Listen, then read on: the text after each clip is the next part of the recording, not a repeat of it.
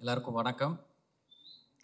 First I'd like to thank the family of Major Mukund Varadarajan sir and Major Mukund Varadarajan sir for allowing us to do this film அப்புறம் முக்கியமாக இப்போ உங்கள் எல்லாரையும் பார்க்கும் போது எனக்கு ஒரு விஷயம் தோணுது.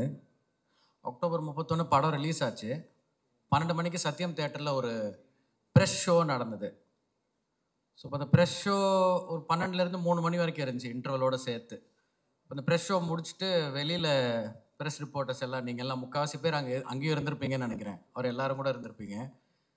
வெளியில் வந்த உங்களுடைய முகங்கள் நீங்கள் எல்லாரும் என்கிட்ட ரியாக்ட் பண்ண அந்த நிமிடங்கள் அதுதான் வந்து எனக்கு இப்போ வரைக்கும் ரொம்ப நெகிழ்ச்சியாக இருக்குது நீங்கள் அத்தனை பேரும் வந்து தொட்டு கொஞ்சி கட்டி பிடிச்சி அவ்வளோ பாராட்டினீங்க படத்தை. அது ரொம்ப நெகிழ வச்சது என்ன. அதுக்கப்புறம் பல பாராட்டுகள் வந்திருக்கு. பட் ஸ்டில் அதுதான் வந்து முதல் தியேட்டர் ஆடியன்ஸோட நான் பார்த்தது வந்து அந்த ப்ரெஷ் ஷோ தான். அதுக்கு முன்னாடி அங்கேயும் எங்கேயும் ஓடிட்டு இருந்தோம். எல்லா இடத்துலையும் சவுண்ட் கரெக்டாக இருக்கா பிக்சர் கரெக்டாக இருக்கான்னு பார்த்துக்கிட்டு இருந்தோம். So thank you first of all for giving that assurance to me அன்னைக்கு அந்த ப்ரெஷ் ஷோவில் ஸோ பத்திரிகையாளர் நண்பர்கள் அனைவருக்கும் நன்றி. அடுத்தது என்னோட டீம் இந்த படத்தை பொறுத்த வரைக்கும் அக்டோபர் இருபத்தெட்டு இருபத்தொம்போது போல் வேர்ல்டு வைட் ரெடியான எல்லா ஐ மீன் இன்டர்நேஷ்னலுக்கு தேவையான காப்பீஸ்லேருந்து டொமஸ்டிக் காப்பீஸ்லேருந்து அத்தனையும் கொடுத்து முடிச்சிருந்தோம். ஸோ முடிச்சதுக்கப்புறம் எனக்கு வந்து ஓகே நம்ம வேலையை முடிச்சிட்டோம். இதுக்கப்புறம் இதை ஆடியன்ஸ் கிட்ட சரண்டர் பண்ணிடுவோம் அவங்க பார்த்துப்பாங்க. அவங்க என்ன ரிசல்ட் சொல்கிறாங்களோ அதை கேட்டுப்போம் அப்படின்னு தான் இருந்தேன்.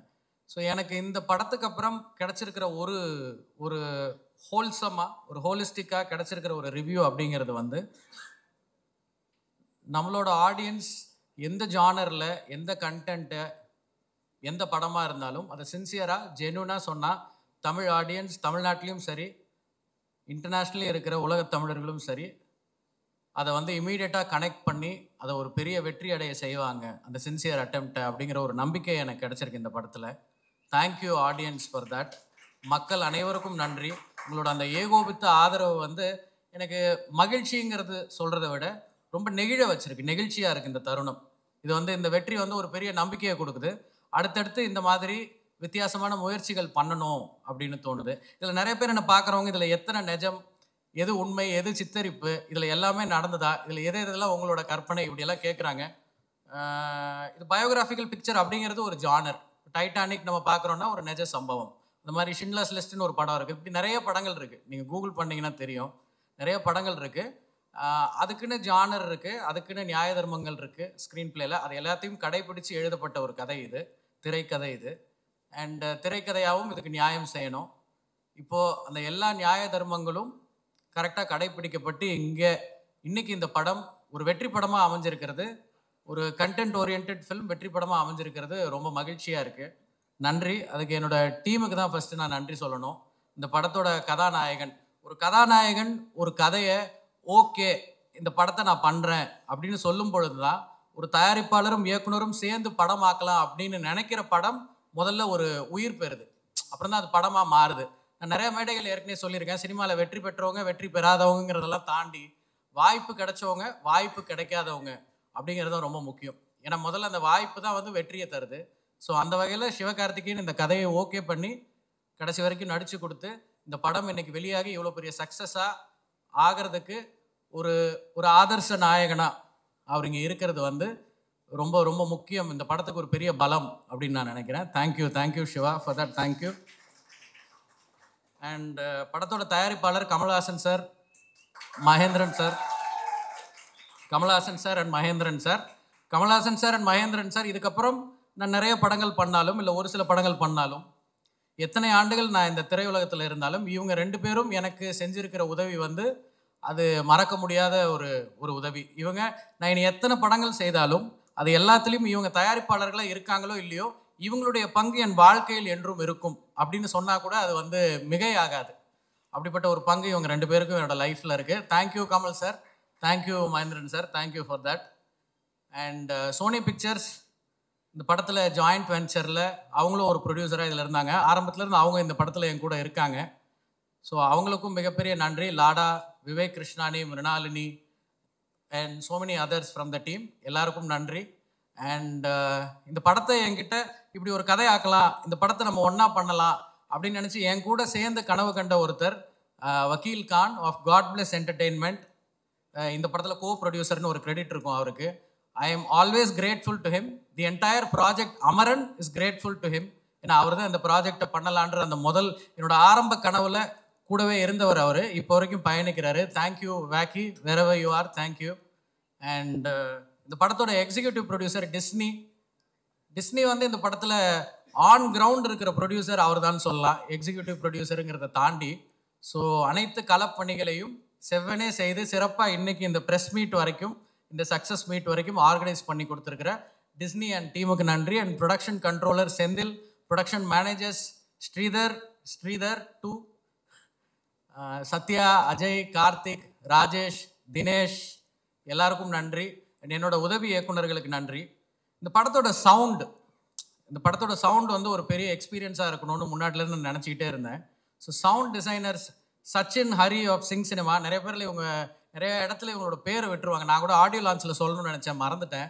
இன்றைக்கி இந்த படம் ஒரு ஹோலிஸ்டிக் எக்ஸ்பீரியன்ஸாக இருக்கிறதுக்கு சாயோட விஷுவல்ஸும் படத்தோட making and sound designer Sachin Hari of Sync Cinema and extraordinary background score and album இந்த படத்துக்கு. அமைஞ்சிருக்கிறதுக்கு காரணமாக இருக்கிற இசையமைப்பாளர் ஜிவி பிரகாஷ் அண்ட் அவரோட ஃபென்டாஸ்டிக் டீம் ஜெஹோ வாசன் எனும் ஜோ இல்லை ஜோ எனும் ஜெஹோ வாசன் கரெக்டாக சொல்லிட்டேன்னு நினைக்கிறேன் அந்த பேரை. ஜோ அண்ட் அவரோட டீம் தினேஷ் இவங்க எல்லாரும் ஒரு பெரிய பக்க பலம் எனக்கு கடைசி நிமிஷம் வரைக்கும் இந்த படத்தில் நிறைய டென்ஷன் இருந்தது நிறைய டிஃபிகல்ட்டிஸ் இருந்தது. பட் அது எல்லாத்தையும் என் கூடவே ஒன்றா இருந்து அந்த ஃபைனல் ஒரு மாதம் போஸ்ட் ப்ரொடக்ஷன் ஃபேஸில் வந்து எனக்கு மியூசிக் டிபார்ட்மெண்ட் ரொம்ப துணையாக இருந்தாங்க. Along the sound thanks special thanks sir GV sir and team for that thank you.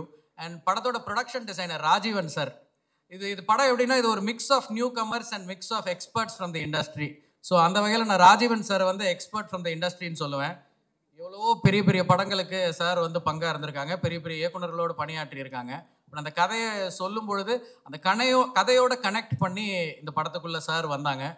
ரொம்ப நன்றி sir Rajeevan sir. Your team is been excellent be it from Bombay or Chennai both the teams have been extraordinary thank you for that thank you thank you Rajeevan sir. Sekhar sir இந்த படத்தோட கலை இயக்குனர். எடுத்தோன்னு அவரை பேச கூப்பிட்டாங்க. எடுத்தோன்னு அவரை பேச கூப்பிட்டாங்க. அந்த வகையில் நான்லாம் கொஞ்சம் சந்தோஷமாக இருந்தேன். ஓகே நம்மளை கடைசியாக தான் கூப்பிடுவாங்க. அது வரைக்கும் கொஞ்சம் ஆசுவாசப்படுத்திக்கலான்னு பாவம். அதனால் அவர் கொஞ்சம் நேரம் வார்த்தைகளாக பேச முடியல.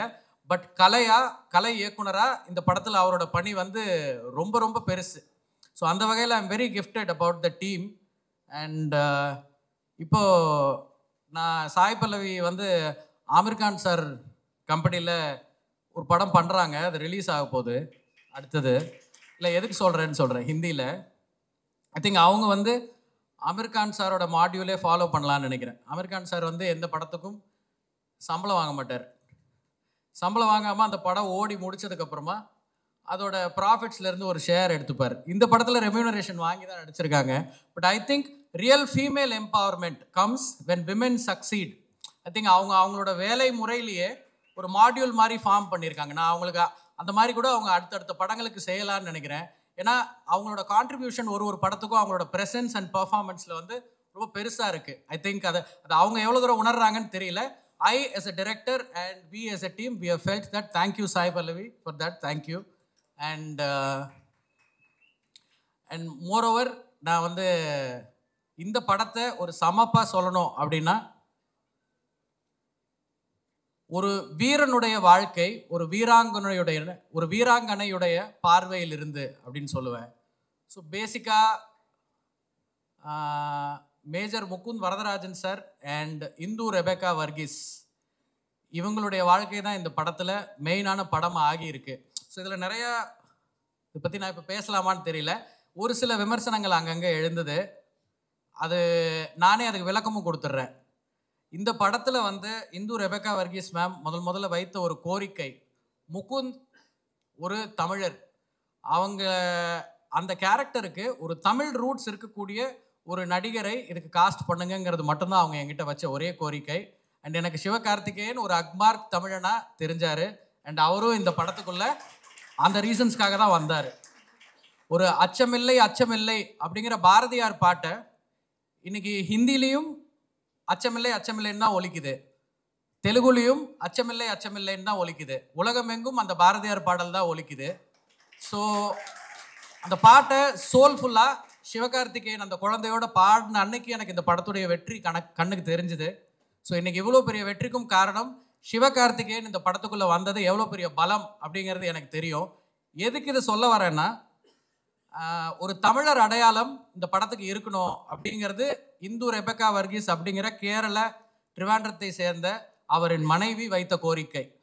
அதே போல் அவங்க அம்மா அப்பா அதாவது மேஜர் முகுந்த் வரதராஜன் தினம் தினம் அவரோட தந்தையை செல்லமா நைனா நைனா என்று அழைக்கும் அந்த வரதராஜன் மற்றும் அவர் ஸ்வீட்டி என்று தினமும் அவர் தாயை அதாவது அழைக்கிற அந்த தாய் கீதா வரதராஜன் கீதா இவங்க ரெண்டு பேரும் வச்ச கோரிக்கை வந்து முகுந்த் எப்போவுமே தன்னை இந்தியன்னு சொல்லிக்கிறதுக்கு தான் ஆசைப்படுவான். அவன் வந்து தன்னுடைய சர்டிஃபிகேட்டில் கூட எந்தவித குறியீடும் இருக்கக்கூடாதுன்னு நினைப்பான். அதனால அவனுக்கு இந்தியன் தமிழன் அப்படிங்கிற அடையாளத்தை மட்டும் ஒரு ஆர்மி மேனாக இந்த படத்தில் கொடுங்க. அப்படின்னு சொல்லி அந்த குடும்பத்தார் என்னை முதல் முதல் மீட்டிங்லேயே கேட்டுக்கொண்டாங்க. அதை தாண்டி நம்ம ஒரு இயக்குனராக ஒரு டீமாக ஒரு இந்த கலை பயணத்தில் நம்ம வந்து ஒரு ஒரு ட்ரிபியூட்டாக ஒரு படத்தை எடுத்திருக்கோம். அந்த படத்தில் இன்னார் இன்னார்னு பிரித்து பார்க்குற இது நான் அவர் வேற ஏதாவது சமூகத்தை சேர்ந்தவராக இருந்தாலும் இல்லை இந்த சமூகத்தை சேர்ந்தவராகவே இருந்தாலும் அது ஒரு முக்கியமான ஒரு விஷயமா நம் பார்வையில் படலை. ஏன்னா நாங்கள் அவங்க வீட்டுக்கு போகும்பொழுது நானும் அவங்கள என்னன்னு கேட்கல அவங்களும் என்ன என்னன்னு கேட்கல இப்படி தான் இந்த படம் எடுத்திருக்கோம். ஐ திங்க் அதை தாண்டி மேஜர் முகுந்த் வரதராஜன் அசோக சக்கர விருது பெற்றவர் அவர் அவர் ஆற்றிய அந்த சிறப்பான பணிக்கும் அந்த தியாகத்திற்கும் மரியாதை நியாயமாக அமரன் படம் செய்திருக்கிறது என்று நான் மனதார நம்புகிறேன். நீங்கள் எல்லாரும் கூட அதை நம்புவீங்கன்னு நினைக்கிறேன். ஸோ அனைவருக்கும் நன்றி. Thank you thank you all thank you so much எல்லாருக்கும் வணக்கம். டிரெக்டர் சார் ஏதோ ஒரு வார்த்தை சொல்லணும்னு சொன்னாங்க. அதனால அவர் ஒரு நிமிஷம் பேசியிருக்கோம் ஏதோ சொல்லணும். Thank you so sorry so sorry இந்த படத்தோட ஸ்டன்ட்ஸ் பெரிதளவில் பேசப்படுது. அதுக்கு ரெண்டு பேர் முக்கிய காரணம். ஆக்சுவலாக மூணு பேர் முக்கிய காரணம். ஃபர்ஸ்ட் வந்து இந்த படத்தோட ஸ்டன்ட் கொரியோகிராஃபர் இந்த படத்தில் பெரும்பாலான ஸ்டண்ட் காட்சிகள் காஷ்மீரில் படமாக்கப்பட்டது. அது எல்லாத்தையும் செய்து கொடுத்த எல்லாத்தையும்னா almost eighty five percent of the stunt sequences பண்ணி கொடுத்த ஸ்டெஃபான் ரிக்டர் ஆக்ஷன் டைரக்டர் அவருக்கு வந்து பெரிய நன்றி. அவர் இதுக்கு முன்னாடி உரி ஷேர்ஷா இந்த மாதிரி படங்களில் பணி புரிஞ்சிருக்காரு இப்போ அமரனில் பணி புரிஞ்சிருக்காரு அண்ட் அவர் ஒரு ஜெர்மானியர். ஸோ ஜெர்மனனுங்கிறதுனால அவர் இங்கே வர முடியல. பட் அவருக்கும் இந்த வெற்றி விழாவுக்கும் ஒரு பெரிய அவருக்கும் ஒரு பெரிய பங்கு உண்டு. இந்த வெற்றி விழாவை நம்ம இன்றைக்கி இங்கே கொண்டாடுறதுக்கு. ஸோ அவரோட பேரை நினைவு கூறணும்னு நினச்சேன். அண்ட் என்னோட ஆத்ம நண்பர்கள்னு சொல்லலாம் அன்பறிவு. எனக்கு சிறு வயதுலேருந்தே பழக்கம். அவங்க வந்து இந்த படத்தோட ஆக்சுவல் ஸ்டன் கொரியோகிராஃபர்ஸாக உள்ளே வர வேண்டியவங்க.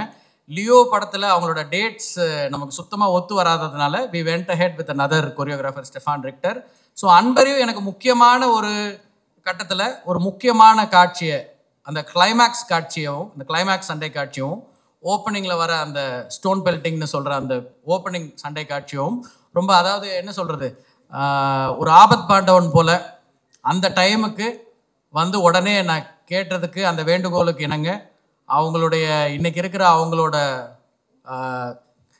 ஸ்டாண்டர்ட் அண்ட் கேட்டகரி அதை பற்றியெல்லாம் கொஞ்சம் கூட யோசிக்காமல் இதில் வந்து கிளாஷ் ஒர்க்காக வந்து பண்ணி கொடுத்தாங்க. அந்த வகையில் அன்பறிவு என்னோட நண்பர்கள் ஸ்டண்ட் கொரியோகிராஃபர்ஸ் அவங்களுக்கும் ஒரு பெரிய நன்றி.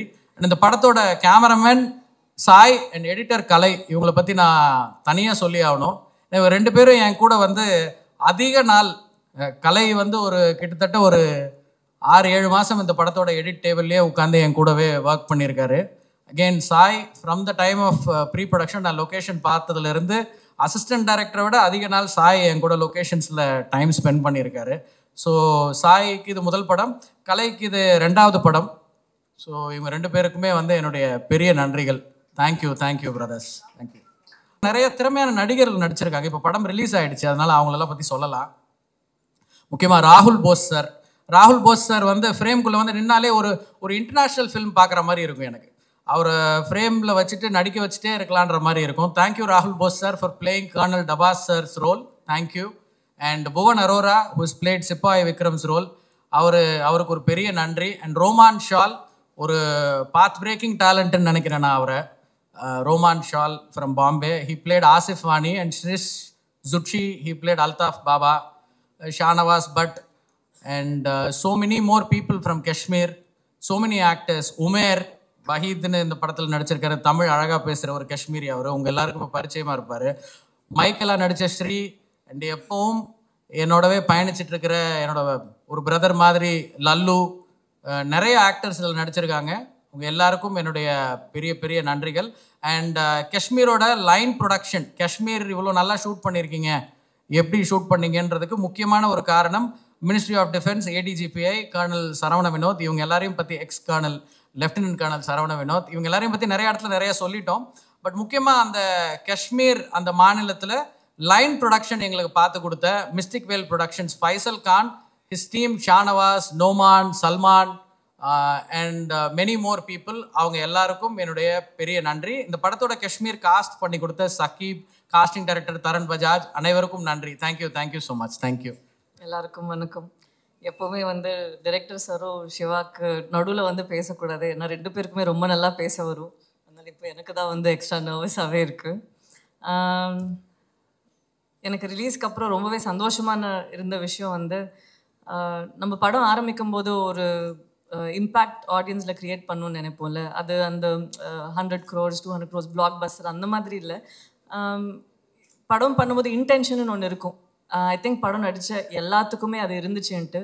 வெரி ரேர்லி இந்த மாதிரி ஒரு படம் நம்மளால பண்ண முடியும். எங்கே ஒரு ஒரு கேரக்டரும் அவங்களோட கேரக்டருக்கு ரொம்ப ட்ரூவாக இருக்கிறதுக்கு அந்த மாதிரி ஒரு எழுத்து எழுதியிருக்கணும். நான் அதான் அவர்கிட்ட ஃபஸ்ட்டே சொன்னேன். டிரெக்டர் ராஜ்குமார் கிட்ட அவர் வந்து ஒரு ஃப்ளை ஆன் த வால் மாதிரி அவர் வந்து ஒரு இடத்துல உட்காந்துட்டு அப்சர்வ் பண்ணுவாங்க. ஜட்மெண்டல் சைட்ஸ் எடுத்து அது எதுவுமே இல்லை. ஒரு ஒரு கேரக்டருக்கும் வந்து அவங்களோட இம்பார்ட்டன்ஸ் அவங்களோட ப்ரெசன்ஸை வந்து காட்ட வைப்பாங்க. இது வந்து எந்த அளவுக்கு இம்பேக்ட் பண்ணியிருக்குன்னா எனக்கு ஒரு ஃப்ரெண்ட் இப்போ ரெண்டு மூணு நாளுக்கு முன்னாடி மெசேஜ் பண்ணாங்க ரிலீஸ் ஆனப்புறம் அவங்களோட அப்பாவும் வந்து இறந்துருக்காரு. பட் அவர் வந்து ஆர்மியில் இருந்தில்ல ஒரு ஜேர்னலிஸ்டாக இருந்து. அப்போது அவங்க சொன்னாங்க நிறைய நாளுக்கு எனக்கு கோபமாக இருந்துச்சு அம்மா மேலே. ஏன்னா அவங்களோட தாத்தாவும் வந்து ஒரு பெரிய சாதனை பண்ணியிருந்தாங்க. அதனால அவங்க ஃபேமிலியிலே இருக்கிறவங்க வந்து சோஷியல் சர்வீஸ்லேயே இரு இருந்த ஒரு ஒரு ஃபேமிலி அப்போ இவங்க சின்ன வயசுல இருந்து இந்த மாதிரி ஒரு செட்டப்ல வரந்ததுனால அவங்களுக்கு ரொம்பவே ஒரு ஏக்கமா இருந்துச்சு. அப்பா எதுக்கு என் கூட இல்லை? அப்பா எதுக்கு எனக்காக இது பண்ணல?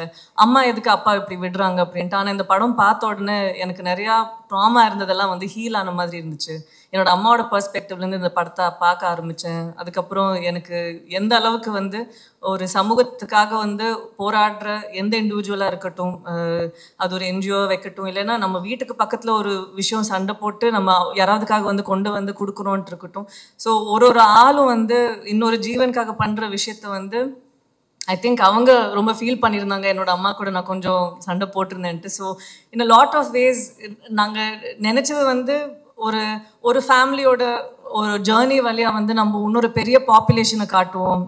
இப்போ இருக்கிற அங்கே ராணுவ வீரர்கள் எல்லாத்தோட லைஃப்பை வந்து காட்டுவோம். அவங்களோட ஃபேமிலி என்ன எக்ஸ்பீரியன்ஸ் பண்ணிட்டு இருக்காங்க அது வந்து காட்டுவோம். ஏன்னா இப்போ நமக்கு நடுவில் இப்போ இங்கேருந்து வெளியில் போயிடும் மாலுக்கு போனால் இல்லைன்னா ரோட்டில் எங்கேயாவது பஸ்ஸில் போனால் கூட அவங்க நமக்கு நடுவில் தான் இருக்காங்க. அவங்க பண்ணுற சாதனைலாம் வந்து ரொம்பவே பெருசு. இது தெரியாது. ஆனால் இந்த மாதிரி வந்து நம்ம ஆன்லைனில் நீங்கள்லாம் வந்து பேசுறது இப்போ தியேட்டர் விட்டு வெளியில் வரும்போது எல்லாம் அழுதுட்டு பேசுகிறாங்கல்ல இதை பார்த்தா ரொம்ப மனசு ரொம்ப வலிக்குது அப்படின்ட்டு. இதெல்லாம் அவங்க பார்க்கும்போது அவங்களுக்கு ஒரு விதத்தில் வந்து ஒரு சந்தோஷம் கொடுக்குது. அட்லீஸ்ட் எங்களை ரெப்ரசென்ட் பண்ணி ஒரு படம் அங்கே வந்துருந்துச்சு வ- வந்திருக்குன்ட்டு. ஸோ அதுவே வந்து ஒரு பெரிய சக்ஸஸ் என்ன கேட்டால் ஒரு ஆக்டராக வந்து நமக்கு நிறைய படம் வரலாம். நம்மளோட ப்ராவஸை காட்டுறதுக்கு. இல்லைன்னா ஒரு நமக்கு ஏதாவது பெரிய படத்தில் நம்ம இருக்கோம். இவ்வளோ கலெக்ட் பண்ணியிருக்கதெல்லாம் சொல்கிறதுக்கு பட் வெரி ஃபியூ ஃபிலிம்ஸ் நமக்கு இந்த மாதிரி ஒரு ஆப்பர்ச்சுனிட்டி க கொடுக்கும். எங்கே வந்து ஒரு சில ஒரு கம்யூனிட்டி ஆஃப் பீப்புள் பற்றி நம்ம பேசாமல் இருந்து அதை பற்றி ஒரு கரெக்டாக அவ்வளோ ஆத்தென்டிக்காக காட்டுறதுங்கிற ஒரு விஷயம். அது மட்டும் இல்லை அவர் ஒரு டைம் டப்பிங் எல்லாம் வந்து ஆஸ் ஆக்டர்ஸ் நமக்கு தெரியும் இருக்கிற கண்டிஷன்ஸ் எல்லாம் எப்படின்ட்டு. டப்பிங் ஸ்டூடியோவில் ஏசி போட்டிருப்பாங்க ஆஃப் பண்ணுவாங்க நமக்கு ஒரு குஷன் இருக்கும் நின்றுட்டு பேசுவோம் பிரேக் எடுப்போம். அங்கே இந்த படத்துக்கு வந்து எனக்கு ரொம்பவே ரொம்பவே I am awestruck by what happen அங்கே காஷ்மீரில் இருந்த கேரக்டர்ஸ் எல்லாம் எப்படி அப்படி நடிக்க வச்சாங்கன்ட்டு. அது அவ்வளோ ஒரிஜினலாக இருந்துச்சு. அந்த அந்த ஃபியூனரல் சீனாக இருக்கட்டும் இல்லைன்னா அந்த அம்மா வந்து கீழே விழுந்து கதறதா இருக்கட்டும் அது அவ்வளோவே புதுசாக இருந்துச்சு எனக்கு பார்க்கும்போதே. அப்போது அவர் ஒரு கிளிப் காட்டியிருந்தாங்க. ஒரு டப்பிங் ஸ்டூடியோ அங்கெல்லாம் வந்து நம்ம நினைக்கிற மாதிரிலாம் இருக்காது. ஒரு குட்டி ரூம் ஐ திங்க் இவ்வளோ குட்டியாக இருக்கும்.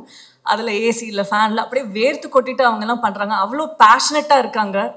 அங்கே நம்ம யோசிக்கிறோம்ல இந்த மாதிரி தான் ஒரு வாழ்க்கை இருக்கா. பட் அதை மீறி அங்கே ஒரு கிராஃப்ட்டுக்கு ஒரு ஆர்ட்ஸுக்கு வந்து அவங்க அவ்வளோ ஒரு தெரியல என்ன யோசிச்சாங்கன்ட்டு அந்த அளவுக்கு ஒரு அவங்க இப்போ ஃபேஸ் இல்லாத ஆளுங்க இப்போ எனக்கு சாய் பல்வின்னு ஒரு பேர் இருக்காங்க. எல்லாம் வந்து அவங்க ஆனாலும் they gave it their everything more than what we might have given so இந்த படம் வந்து சும்மா சக்ஸஸ்ன்னு நாங்கள் இங்கே இருக்கிற ஆளுங்க மட்டும் இல்லை நிறையா பேர் who work at the behind the camera and to make this happen so uh, இது uh, எல்லாரோட இன்டென்ஷன்ஸ் எல்லாரோட ஒரு நல்ல மனசு அது வந்து ஆடியன்ஸுக்கு சம்டைம்ஸ் அது புரிஞ்சுக்கும் அண்ட் அப்படி தான் வந்து இது வந்திருக்குன்னு நான் நம்புகிறேன் uh, ரொம்ப அழகாக நிறையா பேர் வந்து எழுதியிருந்தாங்க ஆன்லைன்லேயும் அண்ட் இன் பர்சன் பார்க்கும்போது கூட நிறையா பேர் பே ஜென்ரலாக ஒரு படம் பார்க்கும்போது வந்து சொல்லுவாங்க ஓ இது நல்லா இருக்கு இந்த சீன் நல்லா இருக்கு இது நல்லா இருக்குன்ட்டு. இந்த படம் பார்த்தோன்னே யாருமே வந்து என்கிட்ட ஒன்றும் பேசுறதுக்கு இல்லை கட்டி பிடிச்சிட்டு தான் அழுதாங்க. அதுவே ஒரு பெரிய ரொம்பவே பவர்ஃபுல்லான ஒரு ஸ்டேட்மெண்ட்டாக எனக்கு தெரிஞ்சுது. இந்த மாதிரி ஒரு படத்தில் வந்து நான் ஒரு பார்ட்டாக ப்ளே பண்ணதுக்கு வந்து நான் ரொம்பவே சந்தோஷப்படுறேன். அதுவும் இந்து மாதிரி ஒரு கேரக்டர் வந்து ப்ளே பண்ணதுக்கு வந்து நான் ரொம்பவே I think it's a blessing I should thank Rajkumar sir அவர்கிட்ட அன்றைக்கே சொன்னேன் ரங்கூன் வழியா வந்து அவர் கௌதம் கார்த்திக்கு ஒரு கெரியர் சேஞ்சிங் ரோல் கொடுத்தாங்க. இப்போ அமரன் வழியா ஃபார் சிவ் கார்த்திகேயன் இன்னொரு கெரியர் டிஃபைனிங் ரோல் கொடுத்துருக்காங்க. எனக்கும் எப்போது போய் துண்டு போட்டு வைக்கிறேன். எனக்கும் ஏதாவது கெரியர் சேஞ்சிங் ரோல் கொடுங்க அப்படின்னு நான் சொல்லி வச்சேன்.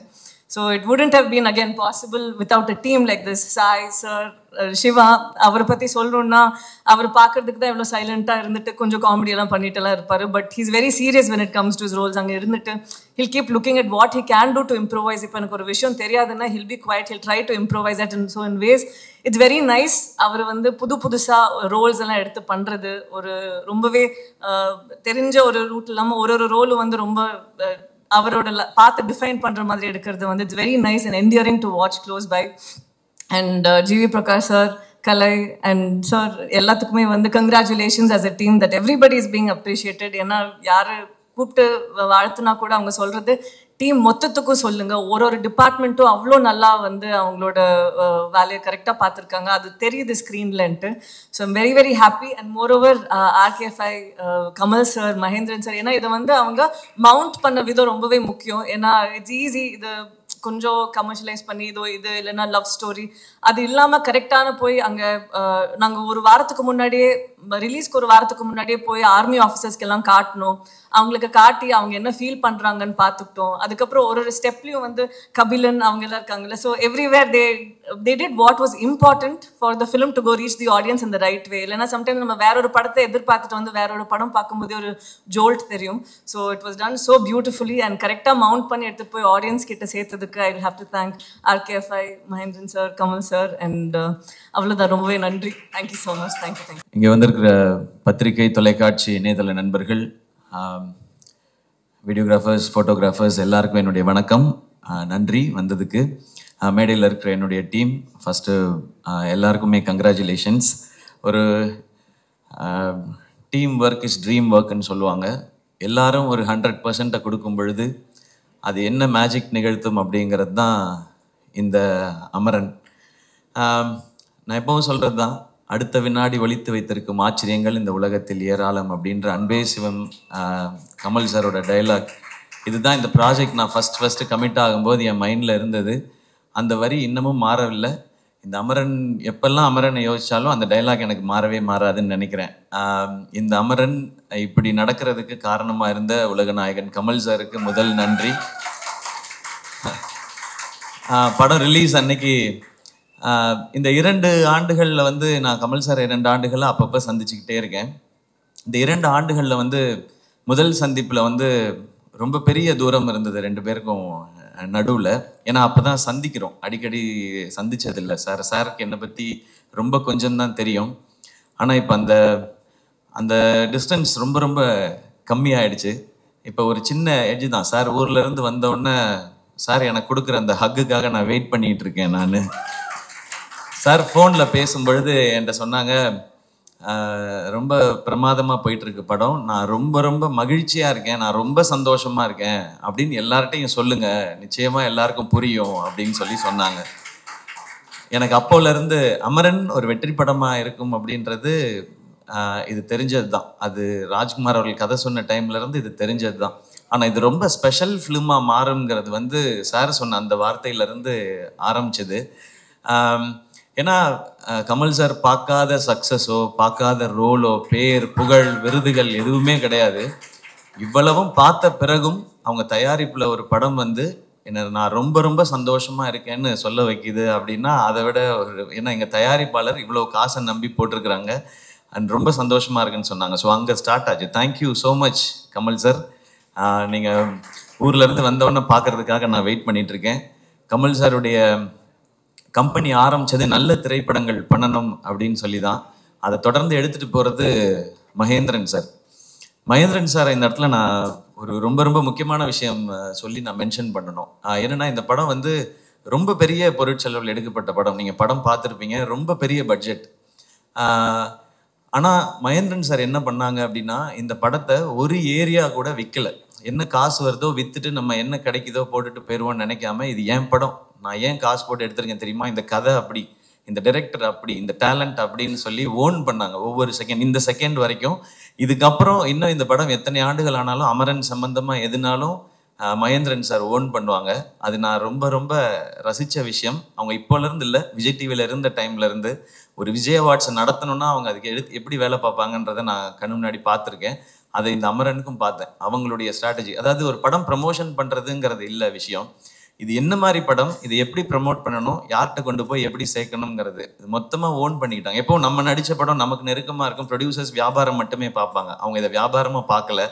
இது ஒரு பேஷனாக எடுத்து பண்ணாங்க. அதுக்கும் தான் இந்த வெற்றி கிடச்சிருக்குன்னு நினைக்கிறேன். Thank you so much Mahendran sir அவங்க இங்கே ஸ்டேஜுக்கு வர மாட்டாங்க நான் என் இடத்துக்கு போகிறேன்னு சொல்லி எங்கேயோ ஒரு லாஸ்ட் ரோக்கு போகிறேன்னு சொல்லி சொல்லிட்டாங்க. Thank you so much sir நீங்கள் லாஸ்ட் ரோல இருந்து இவ்வளோ வேலையும் பார்த்து எங்களை ஃப்ரண்ட் ரோல் இப்படி மேடையில் நிற்க வச்சதுக்கு thank you so much Mahendran sir and எங்கள் உசிலம்பட்டிக்காரர் டிஸ்னி அவர்கள் அவரும் இந்த பக்கம் வர மாட்டார் நேரம் ஓடி இருப்பார். அவர் வந்து இந்த படம் ஆரம்பிக்கும் பொழுது எக்ஸிக்யூட்டிவ் ப்ரொடியூசராக இருந்தார். இந்த படத்துக்காக எல்லா வேலைகளையும் சிறப்பாக செய்து இந்த படத்தோட நீ படம் ஃபஸ்ட்டு கிரெடிட்ஸில் பார்த்தீங்கன்னா இணை தயாரிப்பு டிஸ்னின்னு இருக்கும். ஸோ அந்த ப்ரமோஷன் இந்த படத்தில் அவர் நிகழ்ந்தது காரணம் அவருடைய உழைப்பு தான். டிஸ்னினா வாழ்த்துக்கள். அண்ட் சோனி பிக்சர்ஸ் அவங்களுக்கு என்னுடைய uh, நன்றி. Uh, டிஸ்னின்னா உங்களுக்கு வாழ்த்து மட்டும் சொல்லிட்டு உங்களுக்கு தேங்க்ஸ் சொல்லணுன்னு பட் ஸ்பெஷலாக இன்னொரு தேங்க்ஸும் சொல்லணும். அதை நான் நேரில் மீட் பண்ணும்போது சொல்கிறேன் அண்ட் சோனி பிக்சர்ஸ் அதில் இருக்க டீம் எல்லாருக்கும் அவங்க தான் அதை ஸ்டார்ட் பண்ணி வச்சாங்க. அண்ட் வேக்கி நண்பர் வேக்கி அவருக்கும் தேங்க்ஸ் uh, அவர் அவர் மும்பையில் இருக்காரு. அங்கேருந்து மெசேஜ் போட்டே இருக்காரு.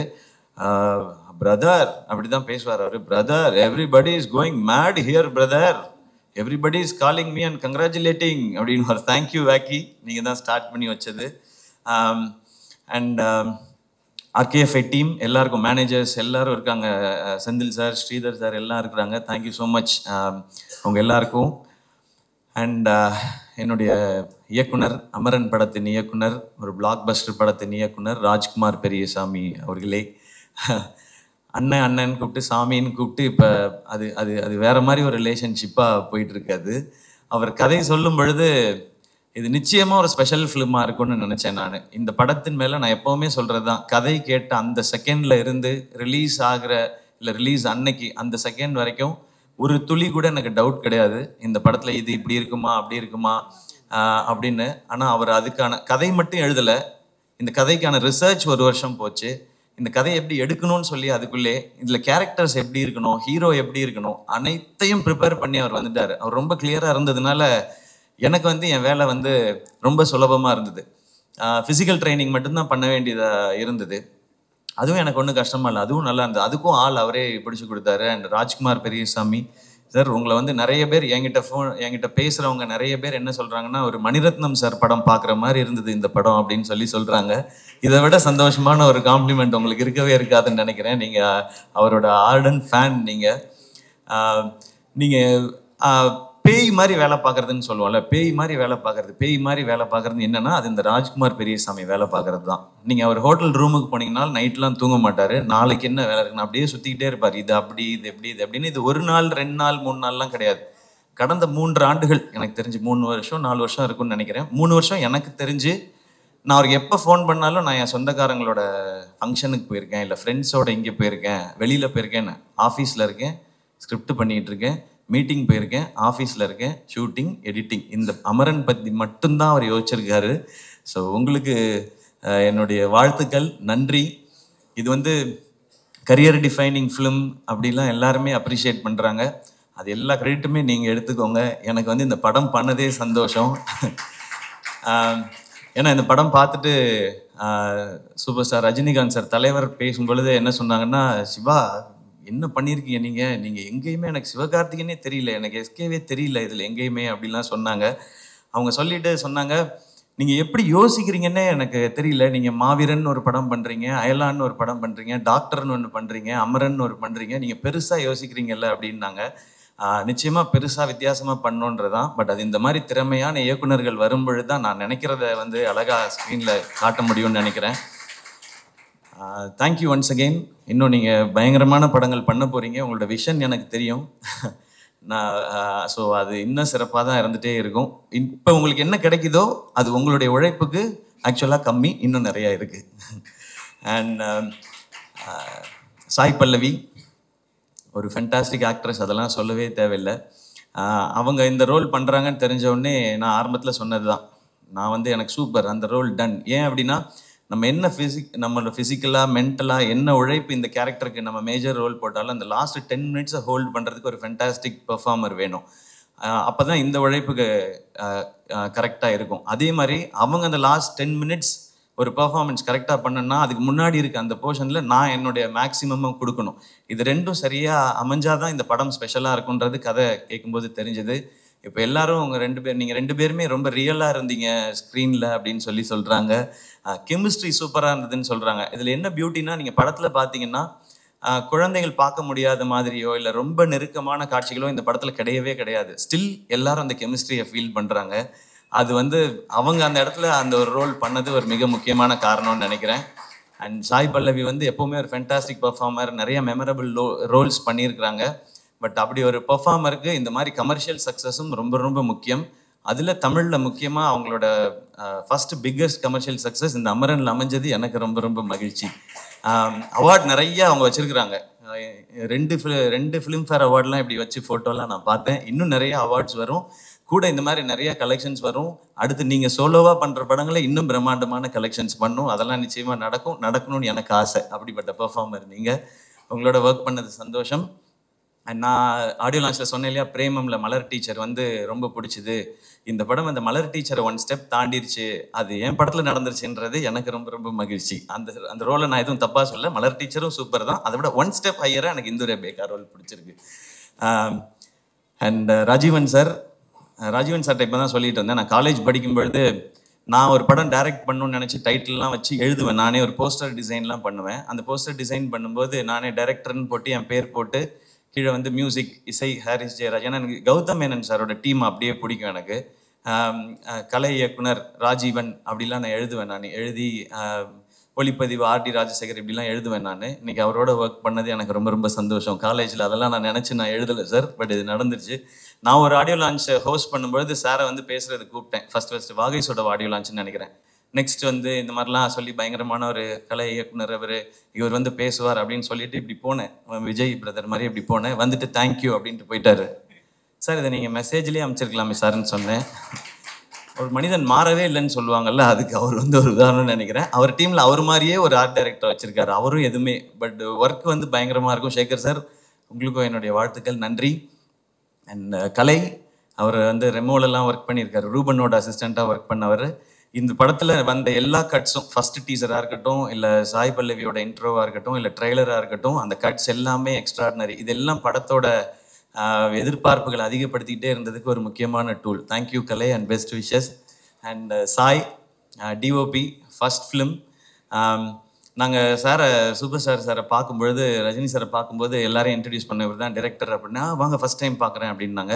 சாயை வந்து இன்ட்ரடியூஸ் பண்ணோம். இவர் தான் சார் படத்தோட கேமராமேன் ஒன்று நீங்கள் தான் கேமராமேனா இந்த படத்துக்கு நீங்கள் தான் கேமராமேனா அப்படின்னு கேட்டாங்க. ஆமாம் சார் வாங்க வாங்க உள்ளே வாங்க அப்படின்னு போய் உங்களுக்கு என்ன வயசு? இது எத்தனாவது படம்னு கேட்டாங்க. இதுதான் ஃபஸ்ட்டு படம்னு எனக்கு ரொம்ப ஆச்சரியமாக இருக்கே அப்படின்னு சொல்லி சொன்னாங்க. பட் சாய் வந்து இப்போ சிரிச்சிட்டு இருக்க மாதிரி தான் ஷூட்டிங்லேயும் நிறைய பேருக்கு இந்த ஷூட்டிங்கில் வந்து கண்ணா பின்னான்னு அடிபட்டு ரத்தம்லாம் ஊற்றிருக்கு அதில் சாய்க்கும் உண்டு. ஏன்னா நிறைய ஹேண்டில் ஷாட்ஸ் உண்டு. இன்டர்வல் பிளாக் எடுக்கும் பொழுது கேமரா தூக்கிட்டு என் முன்னாடி ஓடிட்டு இருந்தார். அப்படியே டமால்னு விழுந்தார் ஒரு நாலு பேர் ஷூட்டிங்கில் வேக வேகமாக ஓடி வந்து கேமராக்கு என்னாச்சுன்னு பார்த்தாங்க.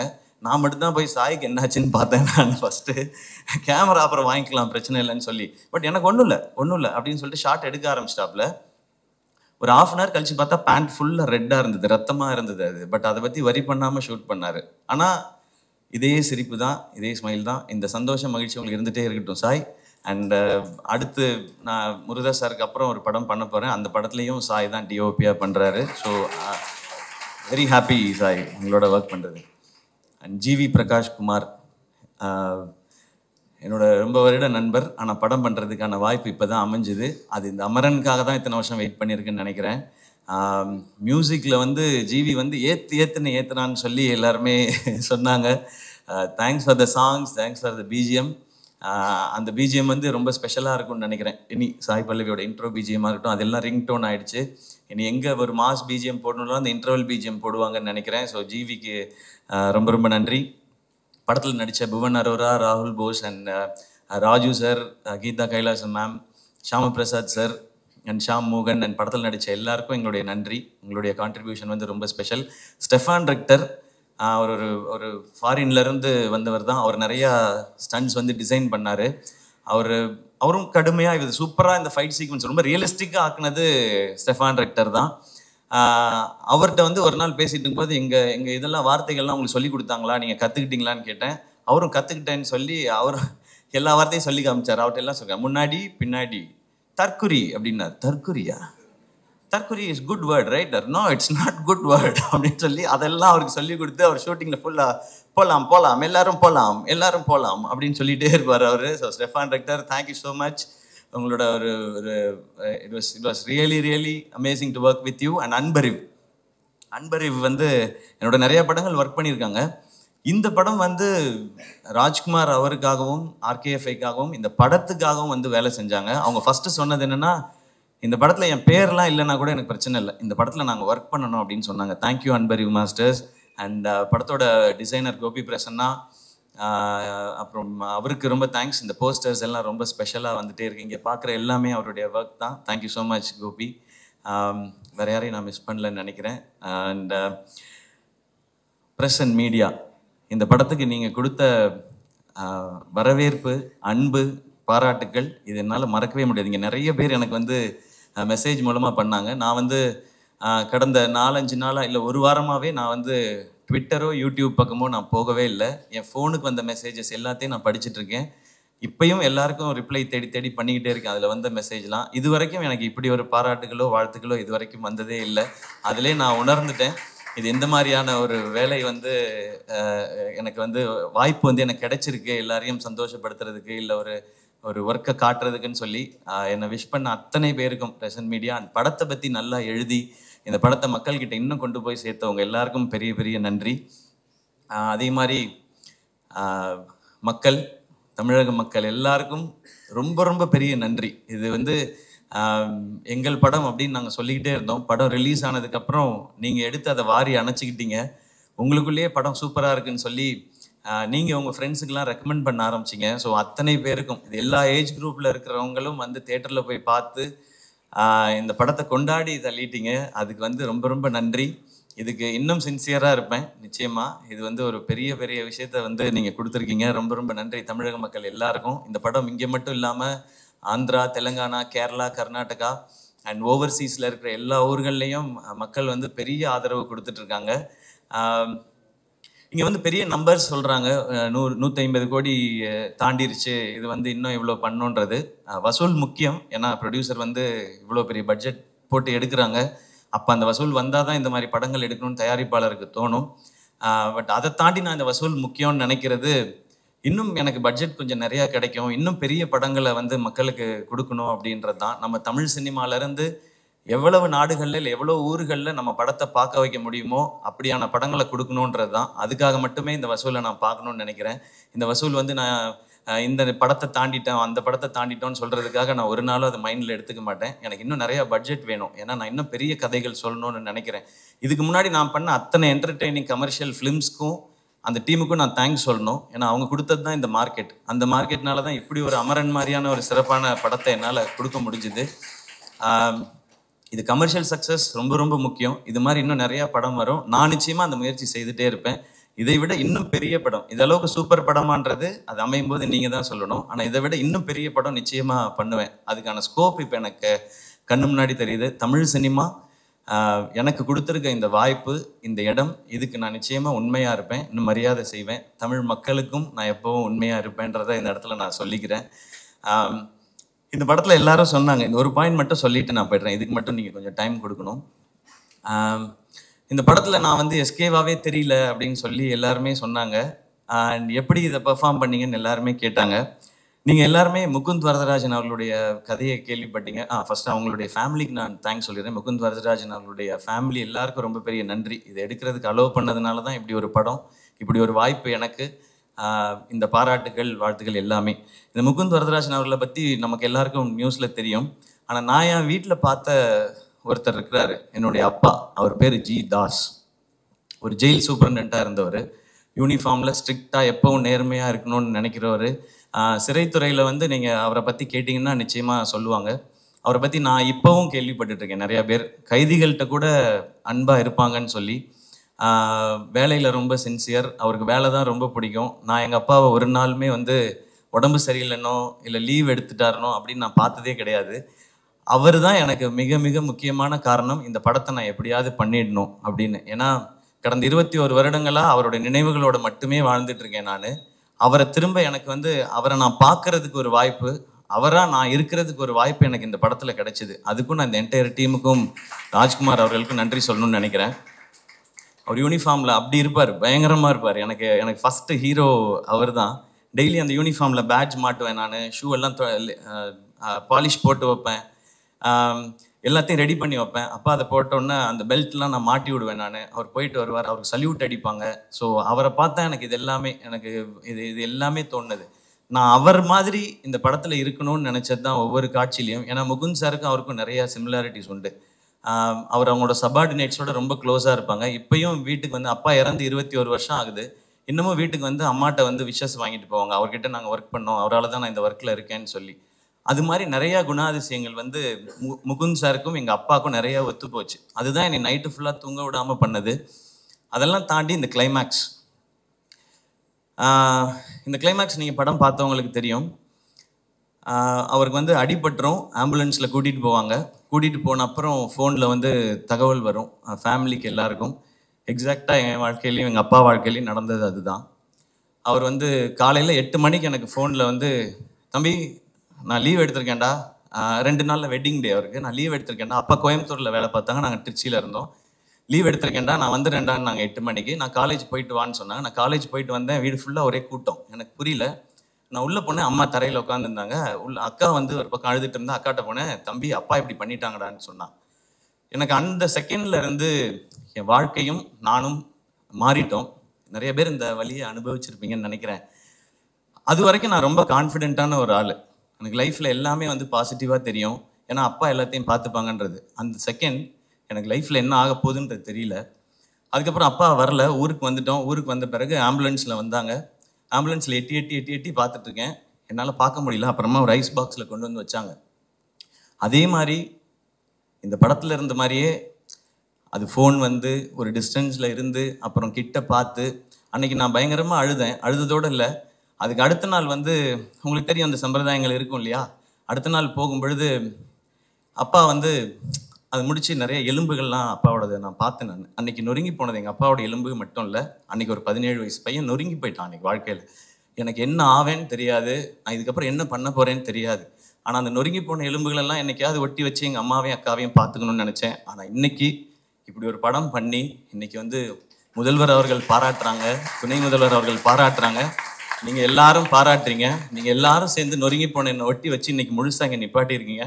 நான் இங்கே அமரன் ஹீரோவாக நிற்கல சிவகார்த்திகனாக நிற்கல ஜி தாஸ் அப்படிங்கிற ஒரு சின்சியரான போலீஸ் ஆஃபீஸரோட பையனாக நிற்கிறேன் நிறைய பேர் கேட்பாங்க அப்பான்னா ஏன் அழுதுறேன்னு சொல்லி கேட்பாங்க.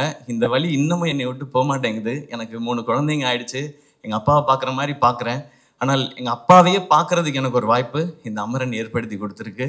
அந்த அந்த இந்துரை பேக்கா அவர்கள் மாதிரியே என் அம்மாவும் என் அம்மாவுக்கு அவ்வளோ தைரியம் இல்லை. எட்டாவது மட்டுமே படிச்சிருந்தாங்க. என் அப்பாவுக்கும் பிரசிடென்ட் மெடல் கொடுத்தாங்க. அப்போ எங்கள் அம்மா தான் போய் அதை கலெக்ட் பண்ணிக்கிட்டாங்க. நான் அதை தூரத்துலேருந்து வேடிக்கை பார்த்தேன். இந்த பட கிளைமேக்ஸும் என் வாழ்க்கையும் சேம் முகுந்த் வரதராஜன் அவர்களுடைய வாழ்க்கைக்கும் என் அப்பாவுக்கும் ஒரு சிமிலாரிட்டி இருக்குது என் அப்பாவை பற்றி பயோபிக்லாம் என்னால் எடுக்க முடியாது. ஆனால் அப்புறம் தான் யோசிச்சு பார்த்தேன் அப்பாவை பற்றி ஒரு பயோபிக் எடுக்கலாமான்னு. தேவையில்லை. என் அப்பாவை பற்றி சொல்கிறதுக்கு நான் இங்கே இருக்கேன்ற ஒரு சந்தோஷம் அந்த இடத்த கொடுத்த எல்லாருக்கும் பெரிய பெரிய நன்றி. இந்த மேடையை நான் அதுக்கு பயன்படுத்திக்கிறேன். இன்றைக்கி அப்பா ரொம்ப ரொம்ப ஹாப்பியாக இருப்பாங்கன்னு நினைக்கிறேன். அம்மா அப்பா இப்போ நம்ம கூட தான் இருக்கிறாங்க. இவங்க எல்லாருடைய கைத்தட்டுகள்லையும் வாழ்த்துகள்லையும் பாராட்டுகள்லையும். மீண்டும் ஒரு முறை இந்த அமரனுக்காக பெரிய நன்றி. இன்னும் சிறப்பான படங்களை தொடர்ந்து கொடுக்க முயற்சி செஞ்சுட்டே இருப்பேன். Thank you love you all